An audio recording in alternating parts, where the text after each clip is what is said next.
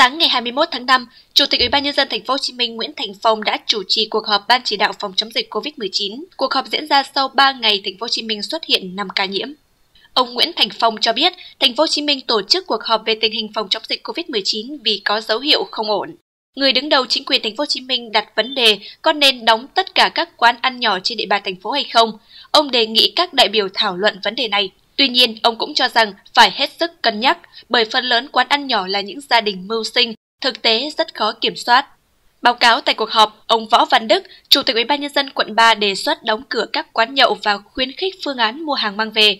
Ông cho rằng việc này nhằm đảm bảo giãn cách và tránh lây lan dịch bệnh. Ông Nguyễn Chí Dũng, Chủ tịch Ủy ban nhân dân quận Gò Vấp cũng đồng tình với phương án đóng cửa một số loại hình kinh doanh ăn uống để phòng dịch.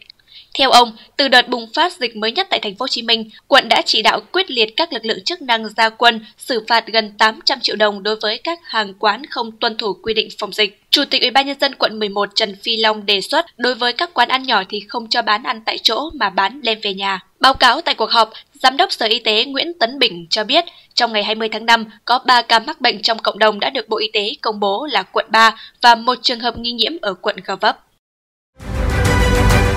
Bạn có video hấp dẫn. Bạn bắt gặp được những khoảnh khắc độc đáo. Hãy gửi về plo a vòng pháp luật tb.vn để nhận ngay quà tặng và những bút hấp dẫn.